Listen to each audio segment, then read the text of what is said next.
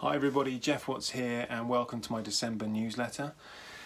I hope you're all getting ready for the holiday season and a well-earned break, a well-earned rest and hopefully a sense of celebration after what's been, let's say, uh, a challenging year for most of us.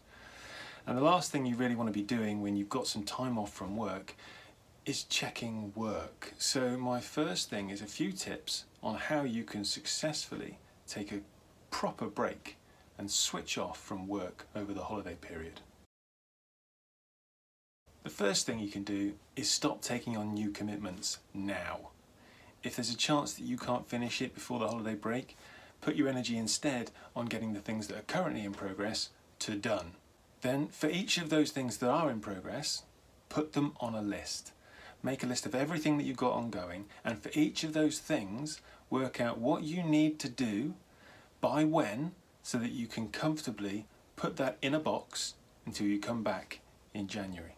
And in that same box, put down what specifically you're going to do when you do start back again because then you'll be able to rest easy knowing that you've got a plan in place. You don't have to keep that thing in your mind, it's in hand. The next thing you can do is publicise your availability and more importantly, your unavailability. Let people know that you're not going to be around. Be firmer than you normally would. Don't put a, unless it's in an emergency or in case you really need me, I will do this. Now be firm, I'm not going to be available on these times. I won't be checking my emails during this time.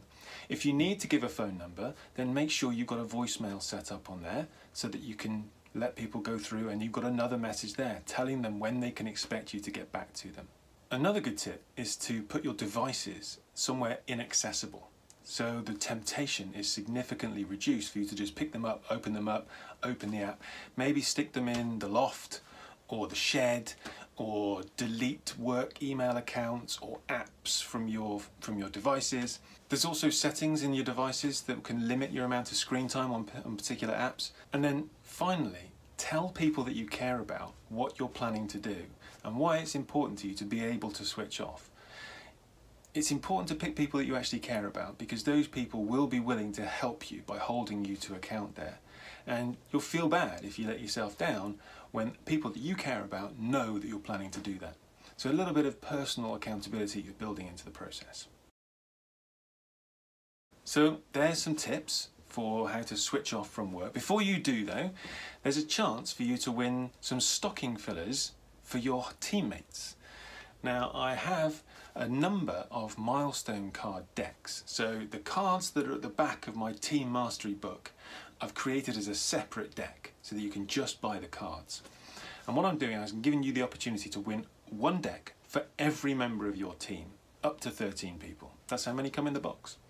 So all you need to do is you need to post on social media about a recent milestone that your team has hit in their growth towards Team Mastery. Use that hashtag, Team Mastery, and then tag me.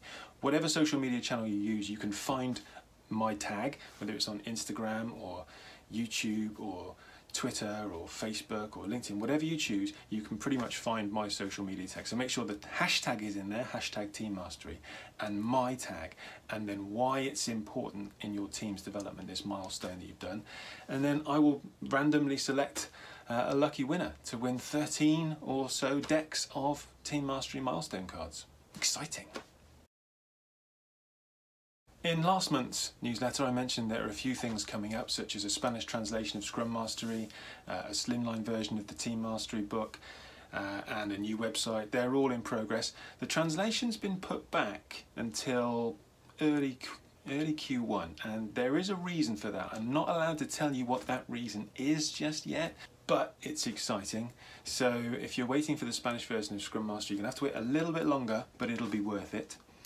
Um, the website should be live by the end of this week, so hoping that that uh, that goes down well. But do let me know your thoughts.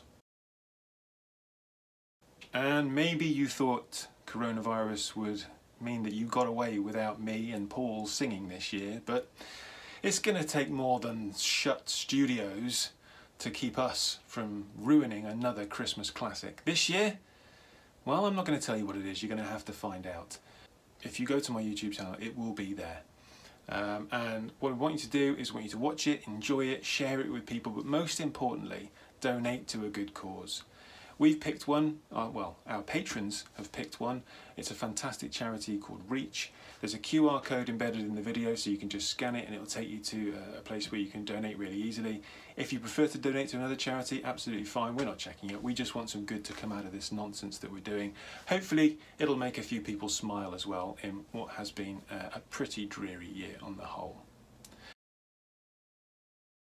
And finally, if you're looking for some one-to-one coaching to start 2021, or is it 2021, uh, with a bang, give yourself a boost for the new year, then check out my uh, heavily discounted coaching taster sessions so you can, uh, you can get some help in pursuing whatever goals you have for next year.